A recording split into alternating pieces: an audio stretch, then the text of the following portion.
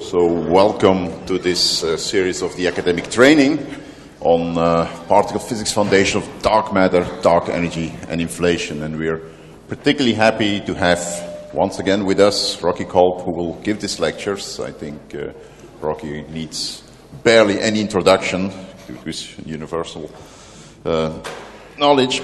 But um, let me just say that he has been director of the Particle Astrophysics Center at Fermilab for six years and is now the chair, if I understood your webpage well, of the Department of Astronomy and Astrophysics at the University of Chicago. And of course, by all, a true expert on the matter of today. So without much ado, uh, Rocky, please. Okay, thank you. I'm happy to be here to present academic lectures for the third time, and I see some people here who are back for the third time. So the program would be three lectures, and in principle, I would spend one lecture on dark matter, one lecture on dark energy, and one lecture on inflation. But I suspect I will spend much more time on dark matter because I have more to say about dark matter and less time on dark energy because there's not much to say about it, and uh, even less time on inflation. Although there's much to say about inflation, it's perhaps at the moment less relevant for the experimental program at CERN. So dark matter, dark energy, and inflation are the pillars of the standard model of cosmology. And one of the interesting things about these important features of the standard model of cosmology is that they all depend upon physics beyond the standard model of particle physics. So supporting dark matter, dark energy, and inflation is unknown physics beyond the standard model of particle physics. In fact, the only real observational, observational evidence for physics beyond the standard model comes from cosmology, comes from, in fact, a uh, field known as precision cosmology. So 20 years ago, it was impossible to use the words precision and cosmology in the same sent- in a grammatically correct sentence with an even number of negatives but in the past 20 years, there's been remarkable progress on, on observational cosmology, and these, this precision has pointed to physics beyond the standard model.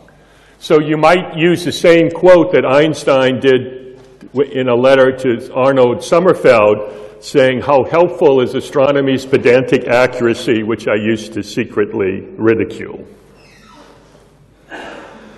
One of the jobs of a cosmologist is to try to understand the present composition of the universe. And the present composition of the universe, as contained in the Lambda CDM model, is a very small fraction of the total energy and mass and energy of the universe today in the form of radiation. Although the early universe was radiation dominated, today radiation is a very small fraction of the total mass and energy in the universe, and most of that radiation resides in the three degree microwave background radiation. This diagram also illustrates why chemistry is insignificant. I don't know why anyone studies chemistry. It is only 0.025% of the mass and energy in the universe. It's very small compared to the mass today in the form of neutrinos. Stars that astronomers are fond of looking at is less than a percent of the total mass and energy in the universe. Most of the normal matter in the universe is in a hot gas of hydrogen and helium that's found in clusters of galaxies.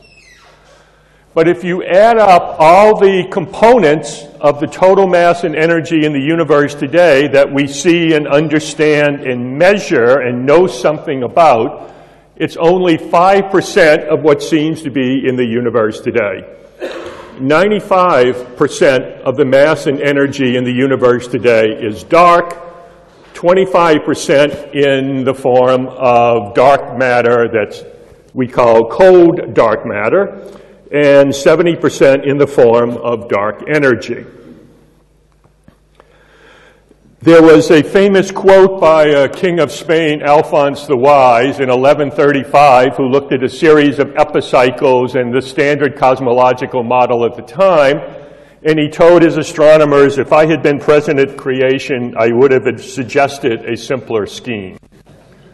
So perhaps the same thing can be said today. It seems to be a mismatch, a, a hodgepodge of various components in the mass and energy of the universe. So 95% of the universe is dark, and uh, we divide the dark sector into dark matter and dark energy because it seems to have very different properties. Dark matter seems to be responsible for holding structures together. It pulls things together. Seems to be a feature of the normal gravitational force, which is attractive, and I will, I will, argue that the most likely possibility is that dark matter is a yet to be discovered species of elementary particle. Dark energy, however, seems to be different. Dark energy seems to push things apart in the uh, expansion of the universe, seems to have some repulsive nature, and I will argue in the second lecture suggests that it's related to the weight of empty space, the weight of the vacuum.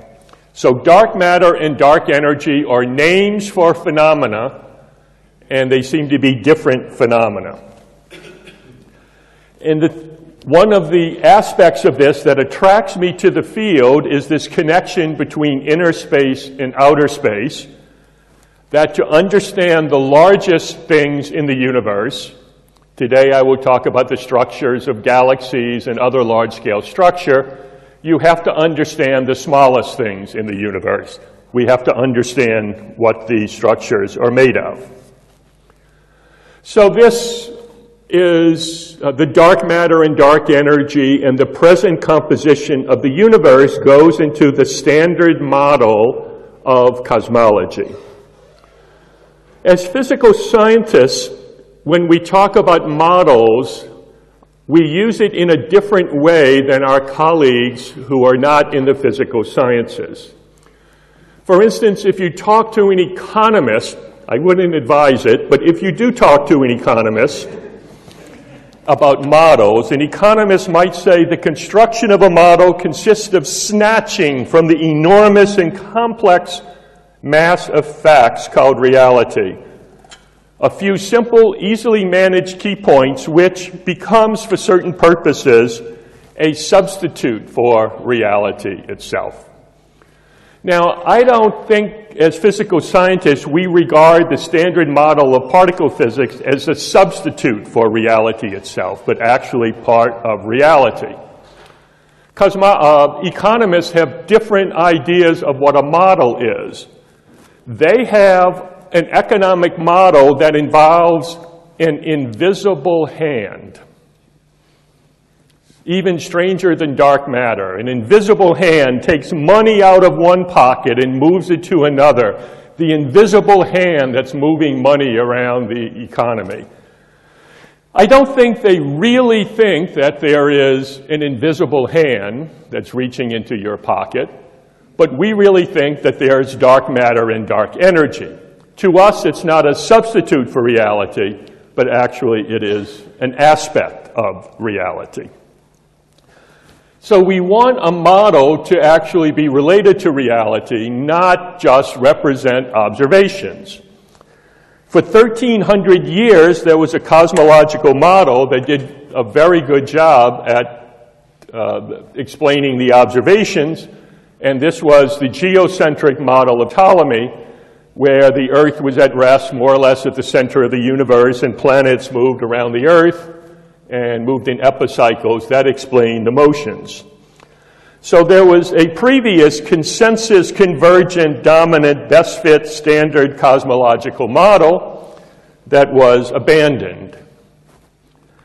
It's often thought that it was abandoned because it was too complicated and involved epicycles, and it was replaced, of course, by this simple, beautiful model of Copernicus. And this is the famous diagram from book one of De Revolutionibus, But for those of you who think that Copernicus's model was simple or even simpler than Ptolemy's model, I invite you to read book three of De Revolutionibus, where you find diagrams like this. And you know what these are? These are epicycles, and if you love Latin, it's epicyclum, epicyclus, epicycli. Copernicus had more epicycles in his model than Ptolemy ever imagined. So the question is, is dark matter and dark energy our modern version of epicycles, things that we introduce to save the appearances, or are they part of physical reality? So today's lecture will be about dark matter, and I suspect it will spill over until uh, the second lecture tomorrow.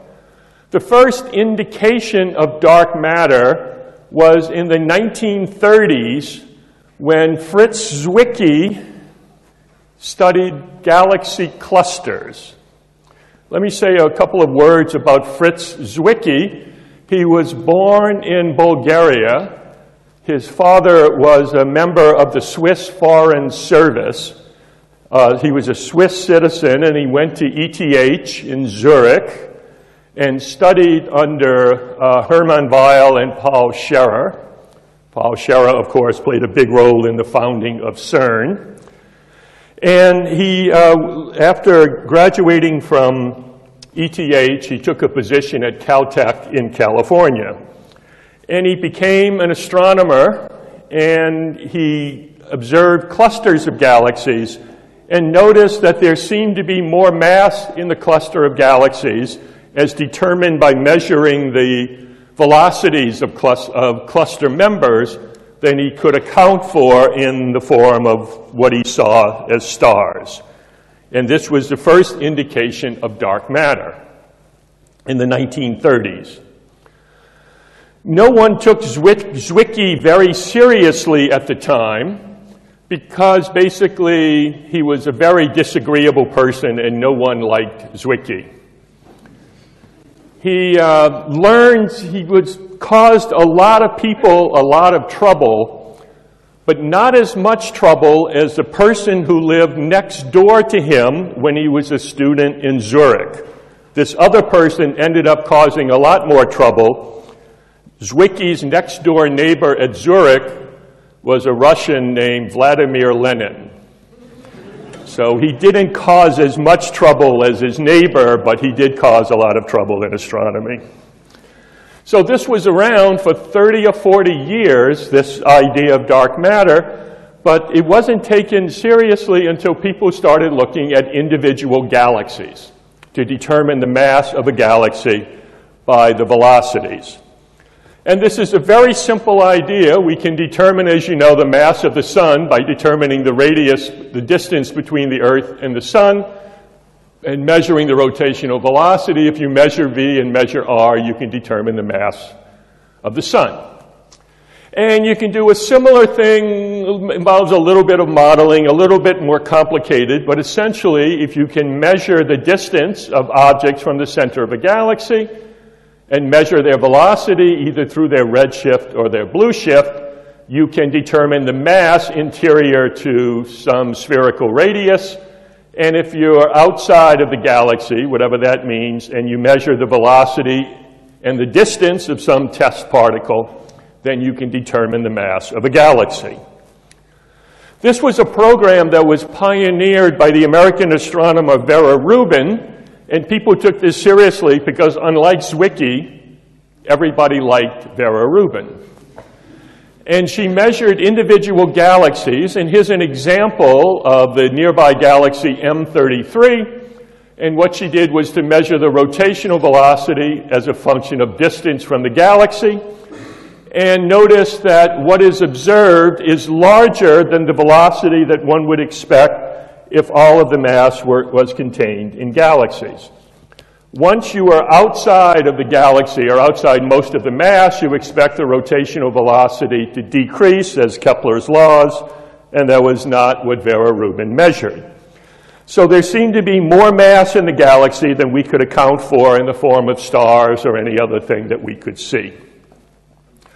It's not just our galaxy, it's not just M33, but there's a program of measuring rotation curves now of hundreds of spiral galaxies, and it's measured out to very large distance. To put this on a scale, the distance between the sun and the center of our galaxy is about 8.5 kiloparsec. So here it's measuring very far out from the center of the galaxy, and the rotation curve does not drop. Most of the rotation curves become quite flat, which says that you haven't run out of mass, that presumably the mass is decreasing as 1 over r squared. So this is one indication looking at the dynamics of clusters and the rotation curves of galaxies that there's more mass in the universe than we can account for in terms of what we see. Dark matter is also apparent by the phenomenon of, of weak gravitational lensing. If there is a massive object, a gravitational lens, then light from a star or a galaxy or some object will be deflected as it uh, passes the gravitational lens, and there's some impact parameter B. So an observer, this is what a typical observer looks like, would observe the star or the object displaced from uh, its actual position. And the angle of deflection is related to the mass and distances. So if you observe the deflection angle, you can deduce the mass of the, uh, of the gravitational lens. This is uh, most strikingly seen by looking at objects known as Einstein rings. If you look at a source that's close to the optical axis that passes close to a gravitational lens, what the observer would see is not a point-like source, but the light from the source spread out in a ring known as the Einstein ring, and the mass of the lens determines the angular size of the Einstein ring. So measuring the angular size of the Einstein ring, you can deduce the mass of the lens, the total mass. So you want to look up into the, into the sky and see where there's gravitational lensing. Apparently, it's all over the sky. And if you look with a telescope with good optical resolution, like the Hubble Space Telescope, at a cluster of galaxies, this is a cluster Abell 2218, the light from objects behind the cluster form a uh, Einstein ring around the massive object, the galaxy cluster, causing the bending of light, and you can determine the mass of the cluster. This is an additional way to determine the mass of the cluster from the looking at the velocity dispersion of individual members of the cluster. And again, when this is done, you discover that there's much more mass associated with the cluster of galaxies than we can account for in the form of the stars or any of the gas that we do see. Another indication that there's more mass in the universe than we can see comes from measurement and determination of the cosmic abundance of the elements. Now, let me remind you why no one likes chemistry. There are too damn many elements. When I talk to high school students, they say, well, why couldn't, can't we study Greek chemistry? There were only four elements, earth, wind, and fire, no, earth, water, fire, and air. They say, why do we have to study so many elements? I tell them about the periodic table of a cosmologist. We have three elements in cosmology hydrogen, helium, and metals. Anything that's not hydrogen or helium, we just call a metal. Chemistry is much simplified. Now, we do this for two reasons. One, it really annoys chemists. And the other reason is that the universe today is 99% hydrogen and helium. So we can get chemistry 99% right just by assuming there's hydrogen and helium in metals. And of the dominant components of the universe today, hydrogen and helium, there seems to be a universal abundance of the isotopes of hydrogen and helium. About 10 parts in a million of hydrogen is in the form of deuterium, and about the same fraction of helium-3 is, uh, excuse me, of helium is in the form of helium-3 rather than helium-4. We understand this present abundance of the elements because the calculation of what the result of Big Bang nucleosynthesis is that three minutes AB, three minutes after the bang, the universe consisted of 76% hydrogen, 24% helium, and the universe, in order to make it through the first day, needed a little bit of lithium about 10 to the minus 8%, one part in 10 to the 10. It's about the same abundance of benzene that you will find in this water, but one part in 10 to the 10.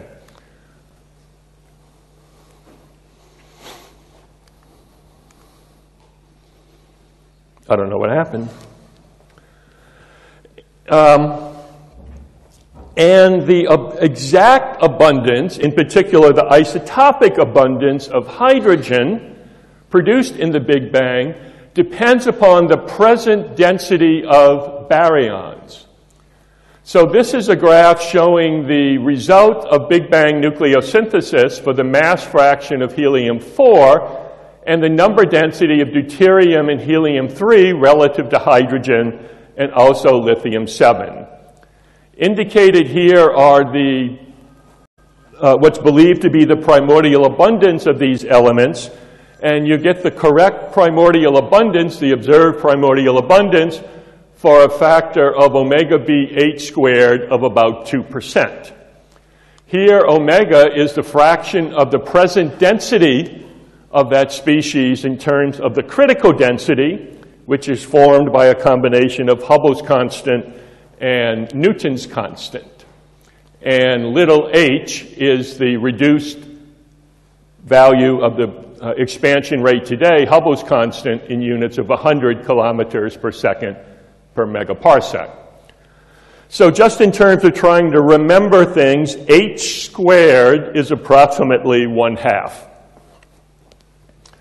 Now, this is the primordial abundance that's predicted there were no primordial observers, or at least any primordial observers did not publish their results. So we have to look at objects that are far away, objects that emitted light when they were very young, to try to get as close as possible to the primordial abundance. One way of doing this is looking at distant quasars. We can see quasars very far away use the light from the quasar as a beacon and see how it's absorbed by clouds of hydrogen known as Lyman alpha clouds. And this is a spectrum of this quasar that's at a redshift of 3.572. This is the light from the quasar, and you see a deep absorption features due to clouds of, lime, uh, of clouds of essentially hydrogen uh, that's absorbing the light from the quasar. If you look at a high dispersion spectrum at a particular small region of this spectrum, you'll see a dip caused by the absorption of one particular Lyman alpha cloud. This is caused by the absorption of hydrogen, and this feature here is due to the absorption of deuterium. And by looking at the relative depths and doing just a little bit of modeling, you can estimate and calculate the deuterium to hydrogen ratio in the early universe in these clouds. And the deuterium to hydrogen ratio is a very good determination of the primordial baryon, of the present baryon asymmetry, the present value of omega b h squared. And to find consistency with Big Bang nucleosynthesis, it's about 2%, which is also consistent with the determination of the baryon density today found by measurements of the background radiation that I will talk about in the third lecture. Another indication for dark matter comes from understanding this, the evolution of structure in the universe. Structure in the universe forms by gravitational instability. Gravity is the ultimate capitalistic free market force. The rich get richer at the expense of the poor. Regions, if you do not have an exactly homogeneous distribution of matter, regions of the universe that are slightly richer in the mass density accrete the surrounding mass and structure grows with time. In order to understand the formation of structure in the universe, we need the addition of dark matter. We can also determine how many baryons there are in the universe by measuring the X-ray temperature of galaxy clusters. Most of the baryons in, in clusters of galaxies are in this hot gas, and the gas is hot because of the gravitational potential in the cluster. So by measuring the temperature of the X-ray gas, we can determine the total gravitational potential the contribution due to baryons and to dark matter. This is an image of the coma cluster in X-rays with the visual image of the coma cluster superimposed, and the X-ray temperature measures the depth of the gravitational potential, so we can measure the total mass density of the cluster. But finally, there's evidence for dark matter by looking at the results of the collisions of clusters of galaxies. This is a composite image of a uh, astronomical object known as the bullet cluster. The bullet cluster is the remnant of two cluster, two galaxy clusters that collided about 2 billion years ago last Tuesday. So this cluster is one cluster here and another cluster there. A couple of billion years ago, those cluster, uh, those galaxy clusters passed through each other. The individual galaxies did not scatter around and interact, and uh, but the gas that was once part of the cluster did interact. This is where most of the baryonic material is. And this is a shock wave of the gas that was associated with this cluster. And this is the result of the gas in red of, uh, that was associated with that cluster. The dark matter, most of the mass of the galaxy, is determined through gravitational lensing to be here and there. So we can understand this with the following simulation. So here we start with a ball that consists of gas, normal baryons, that's red, and dark matter, and today dark matter will be colored blue. So we're starting with these two clusters as dark matter and baryons, baryons in the form of gas, and then we can see what happens when they collide. The dark matter is dissipationless and passes through unscathed, but the baryonic matter interacts and is shocked and stays behind. So that's the result of what we expect, and if you compare this again to the uh, image, it looks like what's observed. So this is a pretty clean system that seems to to tell us that most of the mass of clusters of galaxies is dissipationless. Most of the mass is not baryons.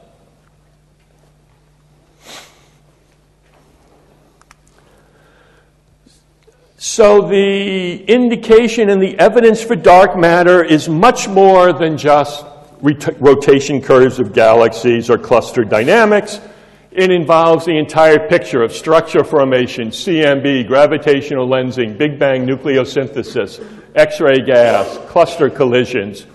The evidence that there's more mass to galaxies and structures and large-scale structure clusters than we can see in the form of baryons is quite uh, complete.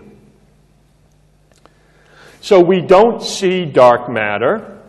We don't see it. We can't see dark matter. Now, occasionally in my office on the south side of Chicago, someone comes into my office all excited because I'm chair of astronomy, telling me that they have seen dark matter, that they can see dark matter.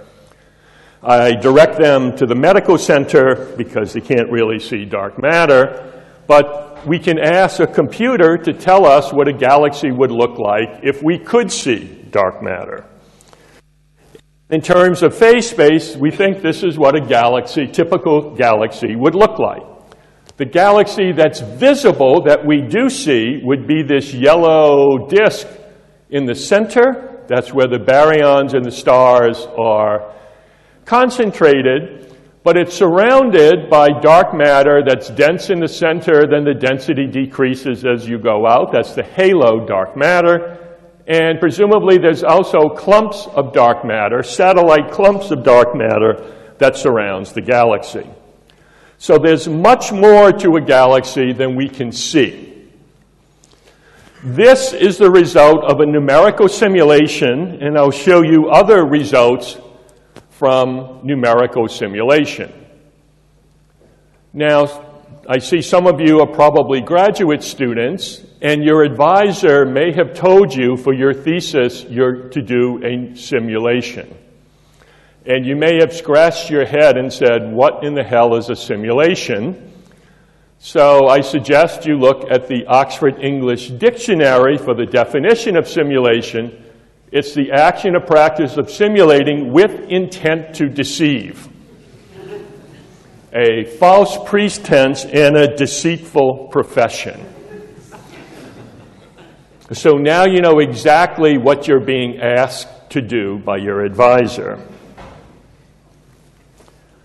All right, so when we look out at the universe, we only see the tip of the iceberg in terms of mass most of the mass is invisible to us. We don't know what it is. And from Big Bang nucleosynthesis and other reasoning, not only is most of the mass invisible, but it doesn't seem to be normal stuff. So when we look at a galaxy, there are missing pieces that we don't see. These missing pieces we call dark matter. What could be the dark matter? One idea is that, in fact, there is no dark matter. We only deduce there is dark matter because of something that's known as modified Newtonian dynamics. Some, we use Newton's laws to calculate the mass. Maybe Newtonian dynamics of the force of gravity is very different on astronomical scales or for very low accelerations. Now, we want, of course, to relate what we see in astronomy to something, some experiment that we do or some other evidence. So we can ask, is there any other evidence that's ever been discovered of modified Newtonian dynamics? And I just love to show this in Switzerland because the answer is yes. Velocity is equal to mass times acceleration that is a modification of Newtonian dynamics, a big modification. And of course, we have to take this seriously because it is a Swiss chronometer. It's not even a watch. I've learned the difference is about 2,000 Swiss francs. This is the only other evidence of, mod of uh, modified Newtonian dynamics, so let's uh, assume that it's not modified Newtonian dynamics. What could the dark matter be? Sorry? Yeah. So when one opens then uh, a book written by someone who doesn't agree on that, the typical the typical point that they make is the Tully-Fisher relation not being predicted in, uh, in the context of dark matter. So I'm not saying that this proves that, uh, that, that, that one has to modify Newton dynamic, but still, it's true that we have a model that cannot predict uh, the low acceleration regime so well. The dynamic of the galaxy under low acceleration regime is not so well predicted. is this the first statement, and we don't, we are not. I mean, we can sleep regardless of this. Okay, so um, I agree. The dark matter is a name for a phenomenon. And I, as a scientist, am trying to chase down what I think is the best explanation for this phenomenon. So this was, I did this for a joke. It's sort of, I, I think it's sort of funny. And I think the best explanation for dark matter is not a modification of Newtonian dynamics or a modification of general relativity. Dark matter is seen on many scales, and in fact, it's not just the dynamics and acceleration. You also have to have a model that accounts for gravitational lensing, the, the growth of structure. All of the pieces, all of the evidence for dark matter fit together in sort of a nice picture if we can just figure out what the damn dark matter is. So that's, that's, uh, that's the approach I'm going to take. One possibility that people have proposed is that the dark matter in galaxies is not anything new, but it's in objects that we can't see, astronomical objects that we can't see. For instance, rogue planets. People have proposed that the, most of the mass of the Milky Way and other galaxies is in the form of planets. And there are different types of planets. There are gas planets, the big gas planets, and we could maybe see those in the infrared, but there's my favorite type of planet, personal favorite, is other rocky planets. And perhaps the galaxy is just full of little rocky planets. Another possibility that people have proposed is that maybe it's not planets, but it's in things that are described as mass challenge stars. In the pre-politically correct era, they were called dwarf stars, but we don't refer to them as dwarf stars anymore. They are mass challenge stars. Mass challenge stars are also light challenge stars. Perhaps there's just a lot of little runty stars in the galaxy that are not producing much light. Another obvious possibility is that most of the mass of the galaxy is in the form of black holes. Black holes do not emit light, light that we can see. Hawking radiation for large objects like solar mass black holes is very small. Taken as a whole, these are described as massive astronomical compact halo objects or machos.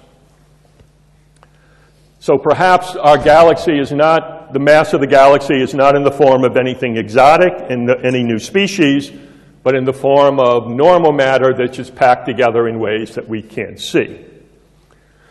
There was an experiment, several experiments that tested this idea by looking at the effect of these small objects on gra uh, gravitational microlensing.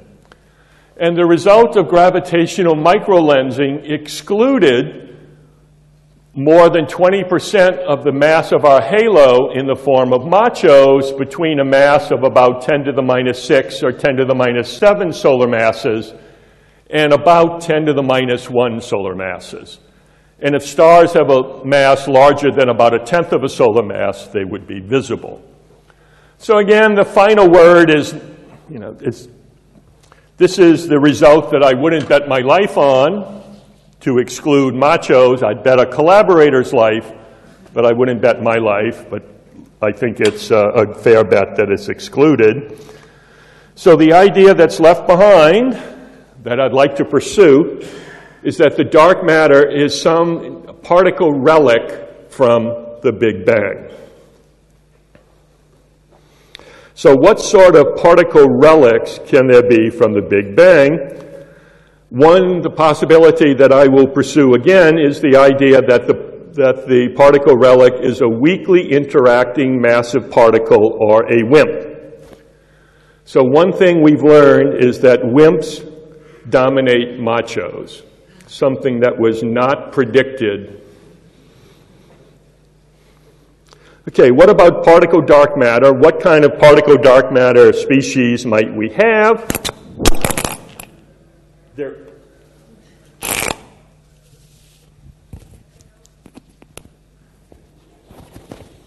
There is a long list of proposed particles for dark matter, and I'll talk about a few of them, but let me point out the great service done by theorists.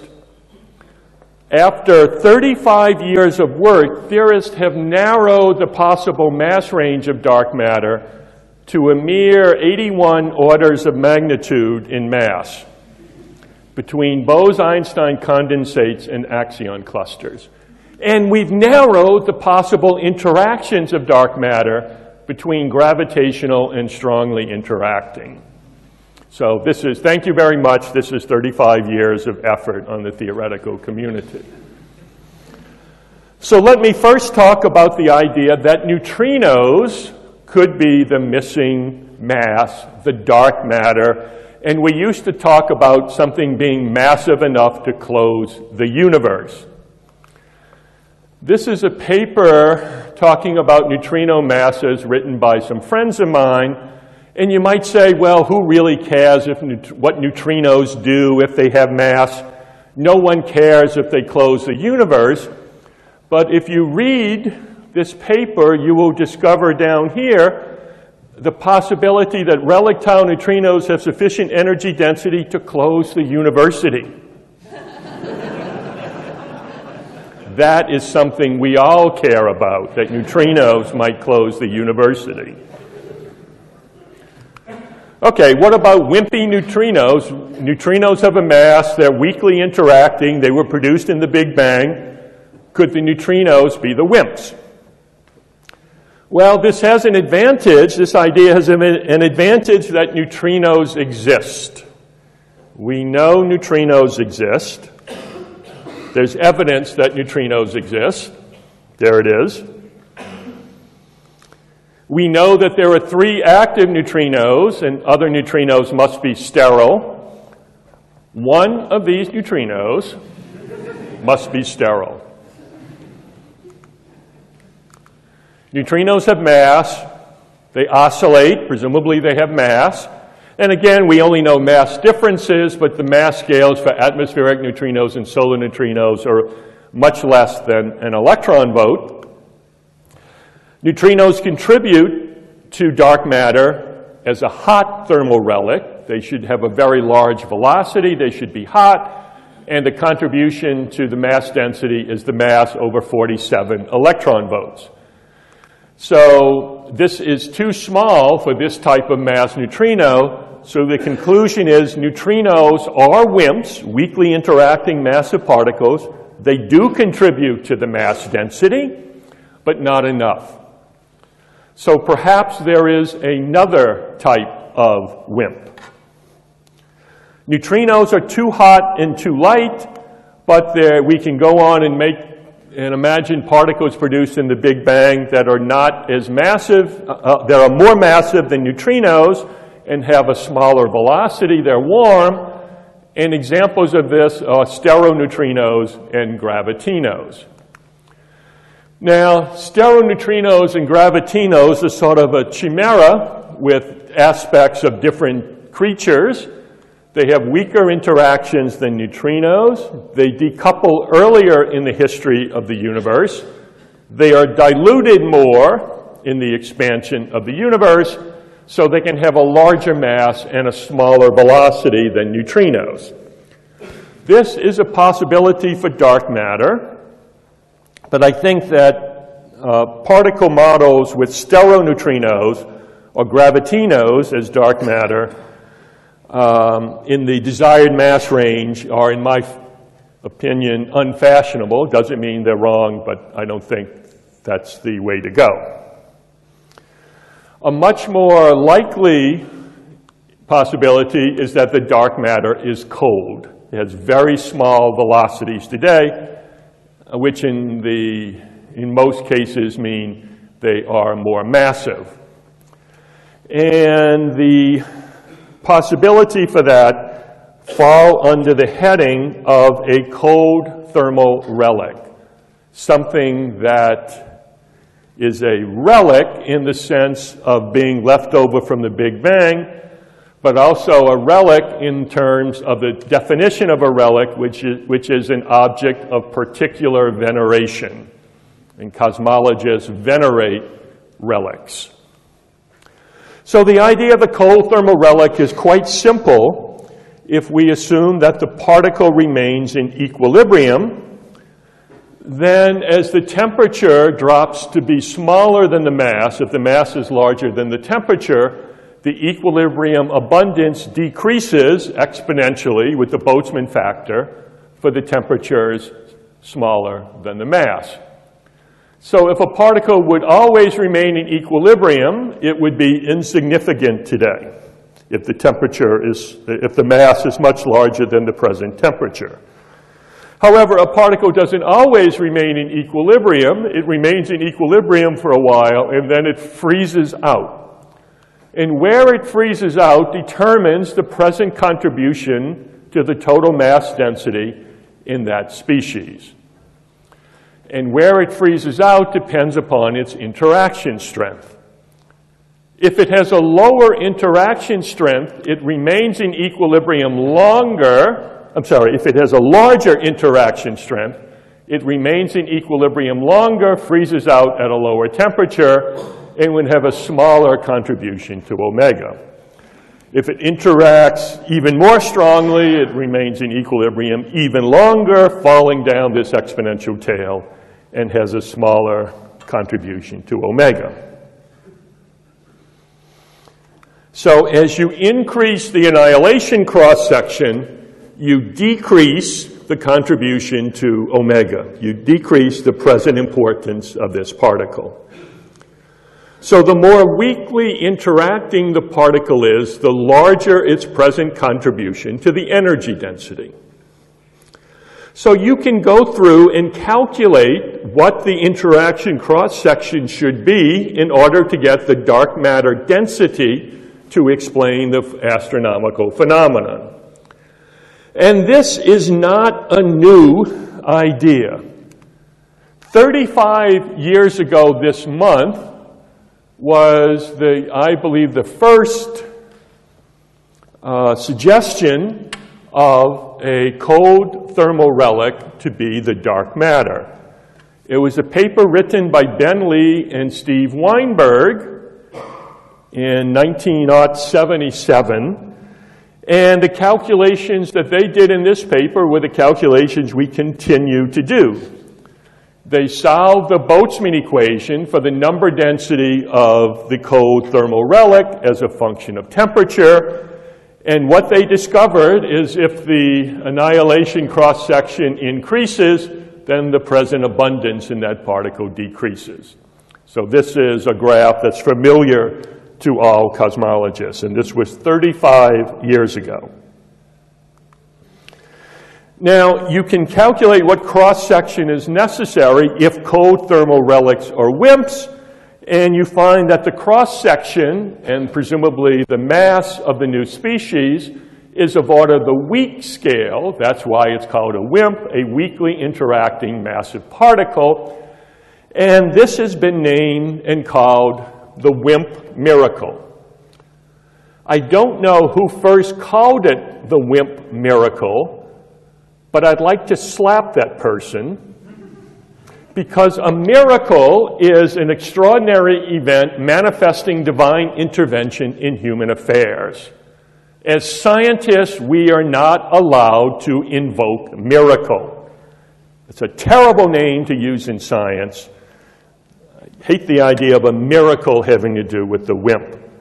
So the real question is the fact that you expect a weak mass in a weak cross section, is that a coincidence or is it causation? It has nothing to do with a miracle. So let's now chase down this idea that the dark matter is a weakly interacting massive particle. Then there's a goal in particle physics and a goal in astrophysics. In particle physics, the goal is to discover in the laboratory the dark matter and learn how it is grounded in physical law and embedded in some overarching physics model or theory. We cannot be satisfied just to say that there is some dark matter particle that we see some evidence of that has a certain mass and cross-section. We want to know how that fits into the larger schema of physics. And in astrophysics, we want to understand the role of dark matter in the formation of structure and the evolution of structure. So what do we know about WIMPs? We know it is massive, stable, weakly interacting, that presumably it is an SU3 cross U1 singlet, and it must be a BSM particle, but maybe not far beyond the standard model. WIMPs are almost too good to be true in the following sense. The annihilation cross-section determines the present abundance.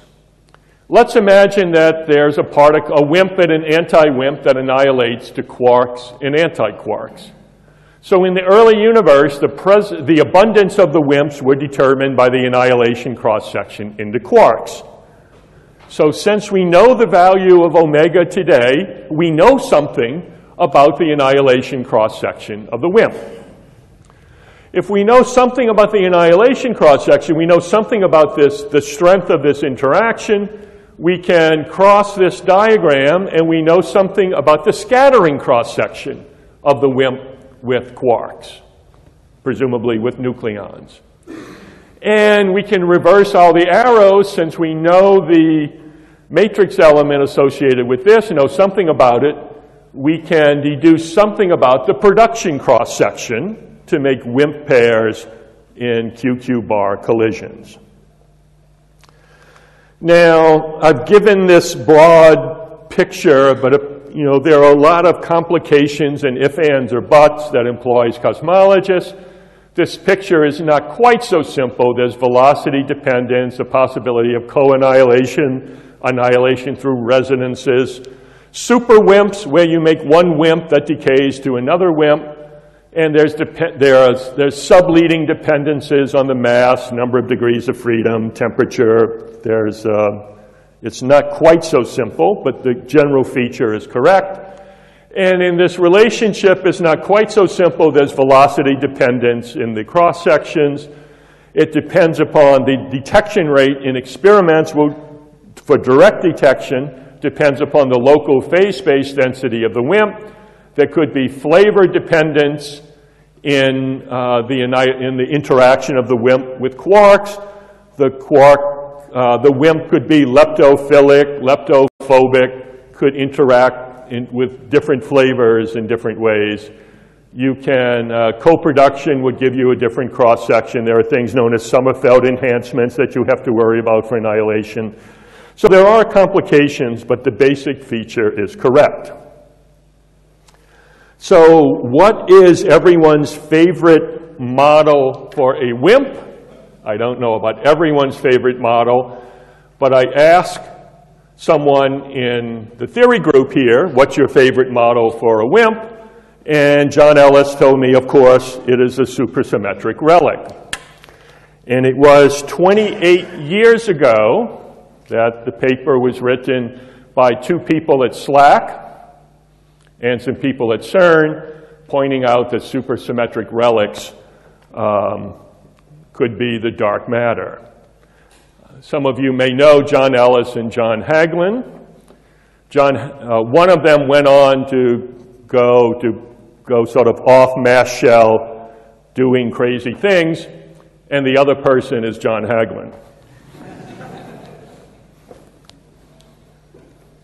okay, the idea of a SUSY WIMP is, and this actually is, I think globally also, the favorite thermal relic, is that the neutralino is some combination of BINOs, WINOs, Higgsinos, and of course in supersymmetry there's the unfortunate proliferation of parameters, 105 or so new parameters. So that determines the mass of the lightest supersymmetric particle and its interactions too many parameters to play with, so you somehow constrain it, make it minimal, and end up with some smaller number of parameters. And then uh, you calculate what the present abundance would be, and you find regions of parameter space where the lightest supersymmetric particle is a neutralino and would be the dark matter. Now, typical SUSY models, the scale of supersymmetry breaking has been pushed to sufficiently large scale from collider and other high precision measurements that typical SUSY models have, would have too large a value of omega. The mass scale is too large, they interact so weakly that the neutralino would be too abundant. So you need some kind of chicanery to increase the annihilation cross-section, and there are several ways to do this.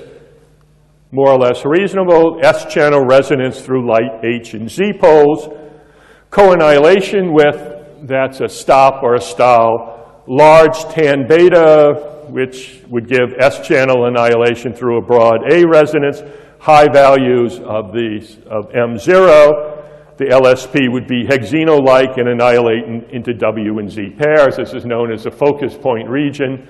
Or it could be that the supersymmetric model, if it's there at low energy, is unconstrained. So the way to look for SUSY WIMPs is to look for the partners, the supersymmetric partners. And in the bulk region, there are light superpartners and the LHC today is chewing away at the allowed region of supersymmetric parameter space, but it's too early to throw in the taulino. Another possibility, another local favorite for dark matter is that it could be a Kaluza-Klein WIMP, an excitation of a photon in an extra dimension. And um, if you have extra dimensions, there are quantized Kaluza-Klein excitations the momentum in the extra dimension appears in the dimensionally reduced world as a mass for a particle. And if you, the first excited mode is stable, and if you can orbifold the circle and make it something that will give you chiral fermions, there's a parity remains, and the first excited mode is stable. So perhaps the dark matter is an excited mode of particles we know in extra dimensions. And again, the best way to find, in this case, it would be the ex excitation of the photon. The first excited mode of the photon would be the dark matter. And these, um, you look for these other particles, and again, the LHC is chewing away at the allowed region. Another way, uh, so those are possibilities for dark matter. And you can look also for dark matter through direct detection of the dark matter. Look for the scattering of the relic dark matter with um, nucleons in direct detection experiments today. And I see it's noon. This is, it's a three-hour lecture today or three hours total? I guess it's three hours total, so I should stop now and ask for questions, and then I'll continue the dark matter discussion tomorrow. Thank you. And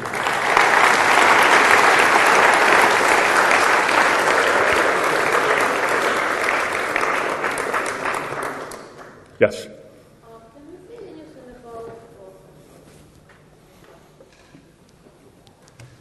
Uh, can we say anything about the nature of dark matter interaction? So through the form they form in the galaxies, I mean, they seem to be spherically symmetric, while the visible matter seems to have uh, sort of the spiral structure. So what sort of interaction would be responsible for the difference in the distribution?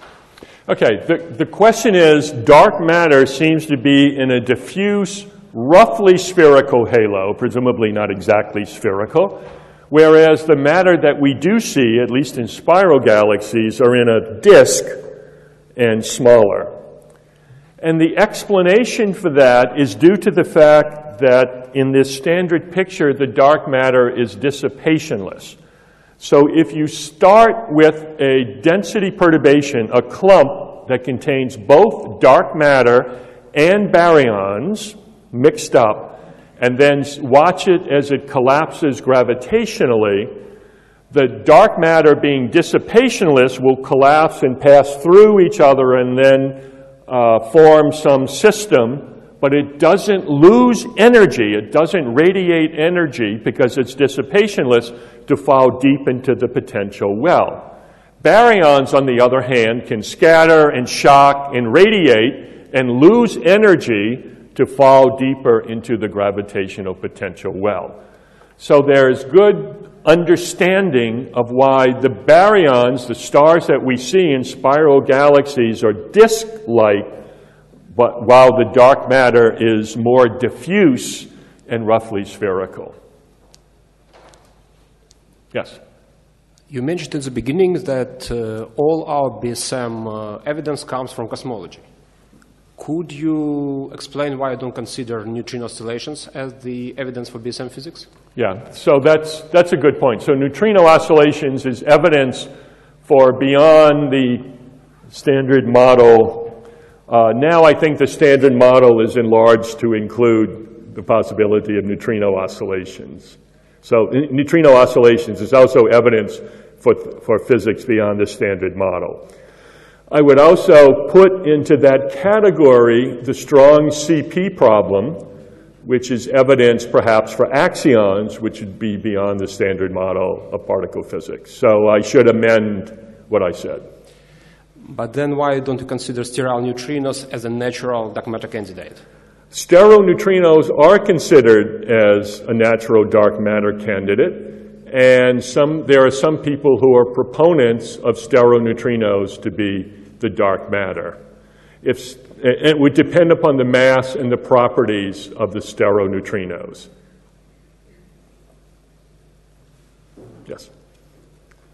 So for what concerns the, the radiation velocity versus the radius, the plots by Vera Rubin, so from that, one can basically, knowing the kind of model that, uh, that we expect for the baryonic matter and knowing, having a model for the, the scale, one can actually get the fraction of uh, dark matter to total matter.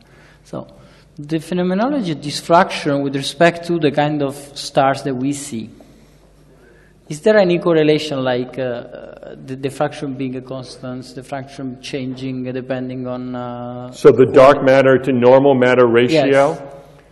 Is there an indication, there, is, there are indications that it's a scale-dependent uh, ratio. So if you look on small scales, if we look in this room, we're dominated by normal matter, and if you look on larger scales, the uh, effect of dark matter becomes more dominant, eventually reaching roughly a factor of six times more dark matter on the largest scales than uh, normal matter. So the overall universal value of dark matter density seems to be about six or so times normal matter. And it is scale dependent. We expect it to be scale dependent. There are uh, dwarf spheroidal galaxies that seem to be dark matter dominated much more than our galaxy. And you would have to understand the formation of these structures taking into account the dark matter, which is easy to model because it's dissipationless, but then you also have to try to figure out what happens to the baryons undergoing scattering, hydrodynamics, and that's something that's more difficult to do. There was another question. Yeah, you mentioned the Lee Weinberg paper.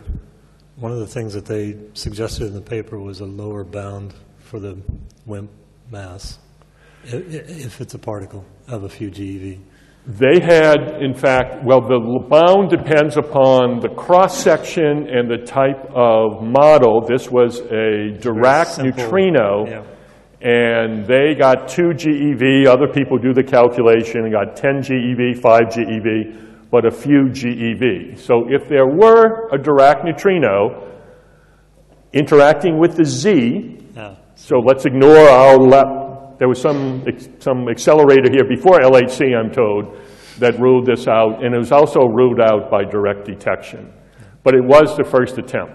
But this was in the dark ages when we didn't know this idea was ruled out. So what's the minimum now? What, what's your best guess for? For the mass of the WIMP? Is there a minimum mass of the WIMP?